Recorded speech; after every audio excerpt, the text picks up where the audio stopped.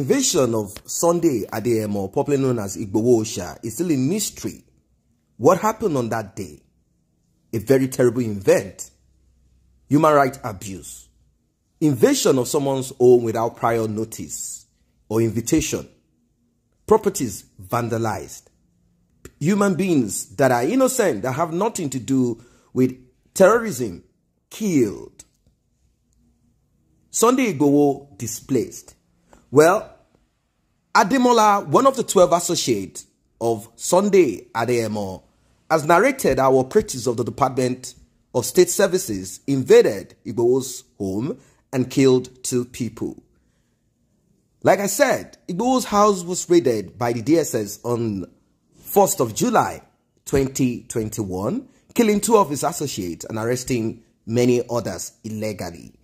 Ademola, who told Sunday Punch is the director of Sunday Adeyemo's Foundation, accused the DSS of killing people in cold blood during the raid. He was one of those arrested by the DSS and later released.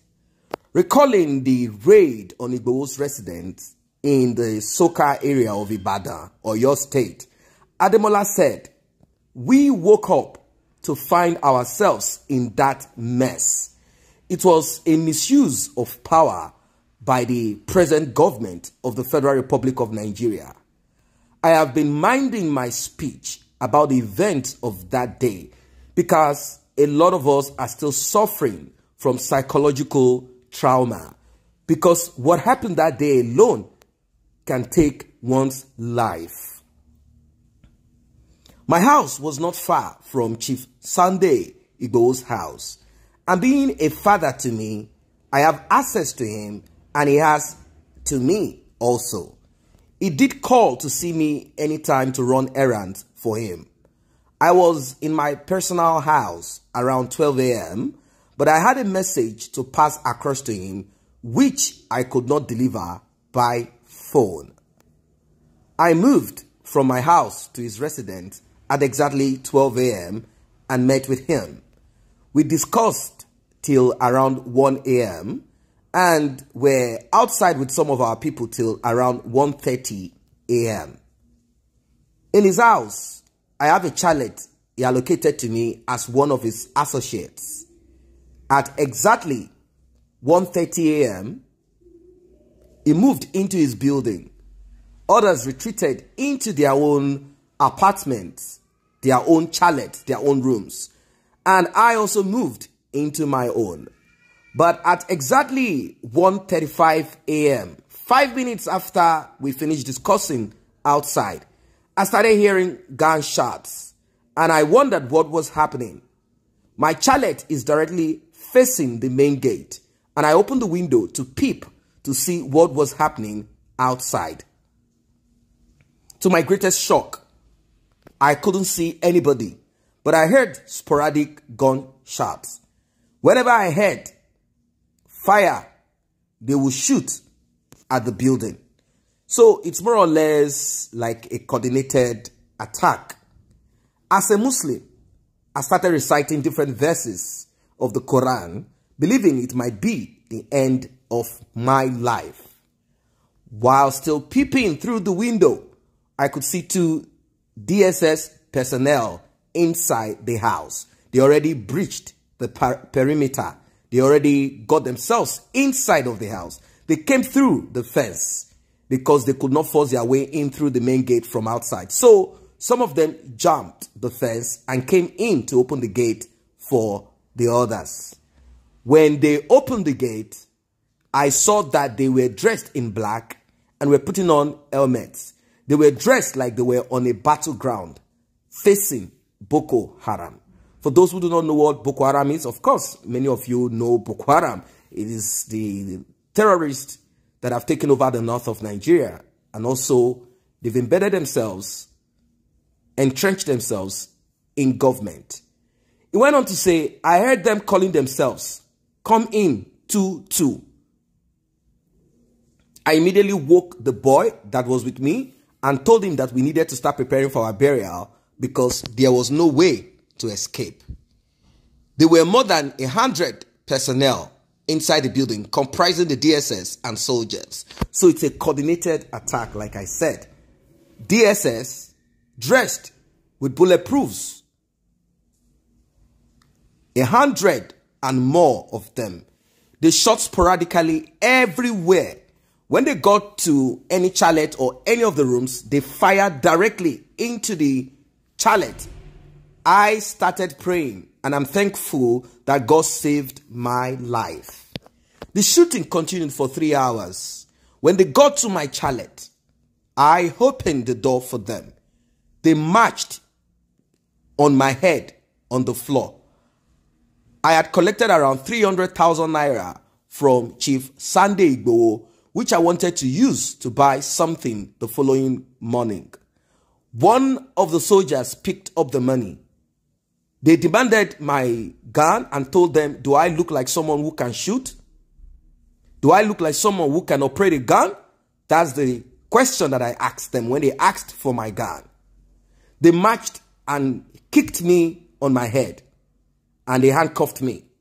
Then took me to the gate to lie down there with others. At the gate, to my greatest shock, I saw one of my very good brothers, Said Ola Dams, called Adogon, the chief executive officer of Ola Dams Motors in Oshogbo, in a pool of his blood. Likewise, Afa, we were still together around 12.30 a.m., but the two of them were already gunned down. After we had been handcuffed and laid on the floor, they, security operatives, started destroying the vehicles in the compound, threatening to burn down the house and saying all sort of things. They also made a roll call of the people in the house. That was what happened. But to the glory of God, here we are today. The two persons killed were identified as Said Adisa, publicly called Adogon, and Igbo's maternal uncle known as Alpha. Denying the claim made by the DSS that the two people killed were harmed and had engaged operatives in a gun duel for one hour, Ademola said there was no retaliation by anyone in Igbo's house. Nothing of such happened. Nobody retaliated. Nobody exchanged gunshots with them. You know the Nigerian military, if anybody had retaliated by exchanging gunshots, you know what would have happened. Those they were killed, those that were killed they didn't exchange gunshots with them. Afar was an innocent man. He was killed in the waiting room of Chief Sunday Igboho while he was praying. He was a cleric and he could not see. He was blind. On getting to the waiting room, they, the security operatives, fired straight and gunned him down. Also, Adogon did not in any way exchange gunshots with them. He was shot in the bathroom where he was hiding. Ademola also noted that the DSS initially arrested 22 people, 12 males and 10 females, but later released some of them at its Ekiti office. They freed nine of the ladies after asking everyone who is Lady K. So they only took Lady K with the men to Abuja. They were particular about who they want to pick. Out of the 12 men, one of us was a police officer, an escort of Adogon. The officer was not paraded in Abuja. Instead, 12 of us, including Lady K, were paraded. He also recalled that the DSS official stole from Igbo's house, saying they took gold, money, our phones, which are still with them. They went away with the CCTV and one of the cats, after killing about four or five cats, they went away with a big MP3. They went away with a lot of things. They went away with the cat, believing that Chief Sunday Igbo turned to a cat. According to him, Igbo was at home when the DSS operatives raided his house, but somehow managed to escape. He said, yes, he was at home. The DSS saw him. They can't deny that because that night they came with three herbalists. Now that tells you how much they prepared. You know, I want to chip this in. It doesn't matter how many people out there might want to say, "Oh, don't say that." Chief Son, we are not talking about the um, how courageous Sunday Igbo is. We are talking about setting mistakes. Everyone makes mistake in life. Even you, you, you. Everybody makes mistake in life. Um, and in life, we grow up. When you grow down, then you go down. That's what it is. I think the reason why they were able to bring three abalis and all of that is because Sunday Adeyemo Igboho did not listen to advice and suggestions from people. I know that he had saboteurs around him who were pushing him. And of course, if you are a powerful person, if you are not careful, that power and many other things that you must have done in life will kind of keep pushing you to speak like you are indestructible. And there is no one that is indestructible because you always have a saboteur, a Judas around you. That's how it works. So Sunday Adeyemo had spoken too much about his prowess, spoken about how his father gave him this, his father. And in this life, you cannot have so much power spiritually more than some other people too who already have the power. There is no pot or secret altar that Sunday Igboho's father might have initiated him, gotten power from or whatever that people don't know about it. They know about it also. It cannot be so much of a mystery. The only secret is secret. That is what it is. The only secret to your long life and to your mystery is you keeping your things secret. And that, I believe, is where the problem lies. Sunday Adeyemo Igboho spoke too much. He spoke too much about this, spoke too much about that, spoke too much about that. If you have your power and you know what you can do, you have to keep yourself quiet. Nigerian regime of Buhari or Nigerian government or any of these people who worked hand in hand to make sure that they bring Sunday Igboho down, they are not afraid of Sunday Igboho. They don't see Sunday Igboho as all-powerful person, stronger than them. We know that this country, this Nigeria that we are in, we know what it is. That many of them, they rule their state, rule the country, even local government chairman with spiritual powers, powers of darkness. They do a lot of things. Some of them go as far as India to get power. To get power, it's not an easy thing. They, it's a lot, a lot of things, you know. So for them to now be afraid of Sunday Igboho, no, it's not possible. It's not possible. That's just what it is. So now you can see from the recount of this young man who by the grace of God escaped. He said they came with three abalis and that the DSS saw Sunday Igboho, that they cannot deny that they did not see him. They saw him. After shooting at so many corners of the house, all of a sudden, they couldn't see him again. That is what happened. They saw Sunday Igboho. They were trying to shoot at different corners of the house. They brought an herbalist. They brought spiritualists. We don't know if the spiritualists are from the south or from the north of Nigeria. There is no way you don't have spiritualists. There are people who have empowered hardened criminal. Hardened criminals in Nigeria. I'm sure you must have heard of Shina Rambo, who said he's now a Christian. He's now a pastor. He said he was never arrested. And he talked about how far he went into the realm of the spirit to get power and how he murdered, killed those people who already empowered him after he got power and offered more sacrifices than them. So as to keep what? All of his things secret. Because he knows that the probably the first, second, third, or fifth Babalawo or Marabu or spiritualists who empowered him could betray him. So he murdered them, he killed them, so that there will be no one who will know the root of his power or secret. So this is, it is not today that people have gotten themselves into powers in Nigeria or in Africa. People go as far as other African countries to get power, politicians or, or, or criminals or whatever people. So um, it's, a, it's a serious issue. So they saw him, they were shooting, and he escaped. So they believed he was hiding, not knowing he was in the building. Chief Igboho is not an ordinary man. So somehow they were shooting at the corners of the house because they couldn't see him again. So there is a possibility that somehow he made use of his spiritual power, which is possible, to disappear into thin air. Upon sighting those abalis, he knew that they came both physically and spiritually. Now, that is the reason why they are not happy with Lady K. Also, you know, it's not a practice that is known publicly. Although they didn't allow any recording, that's why they took the CCTV. And at that time, no one will be able to do a recording of this unless there is a remote camera that picked it. Imagine they came with Babalawo, came with spiritualists. So they came physical and spiritually. So it means that if the Nigerian government wants to put an end to terrorism in Nigeria, they will do so without any problem. If they know how to bring three Babalawo So somehow, Sunday Igboho disappeared either spiritually, either he was able to do that spiritually and kind of um, do something.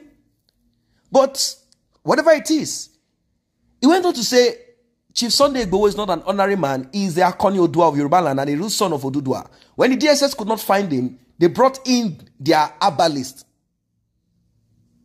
And they started chanting incantations, wanting him to come back. The herbalist later told DSS that Baba Igboho has turned, turned to a cat.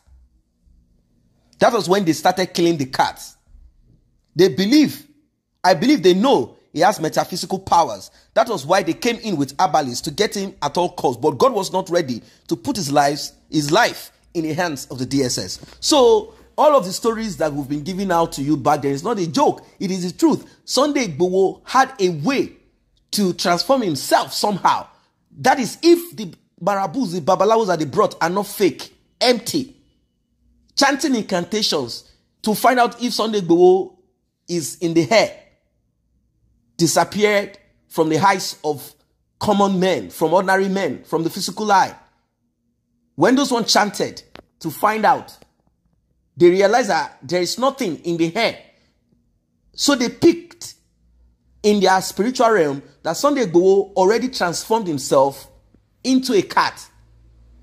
And as a cat, he will be able to jump out of that house and move. So, definitely, with the rest of the cats in the house, they believe that the rest of the cats should be killed and taken away. Well, he noted that the herbalists that accompanied the DSS operatives to Igbo's house wore ordinary clothes, not traditional attire. But when the DSS could not find Chief Sunday Igbo, they called them in and the herbalists started chanting incantations. The DSS operatives were more than 20, and most of them were from Oyo, while the soldiers were more than 200. So they brought in 220. I could count about 87 vehicles when they were taking us away. They came with ambulances too, believing they were going to a war zone.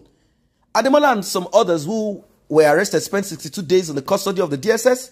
And, you know, he narrated all of these terrible experiences.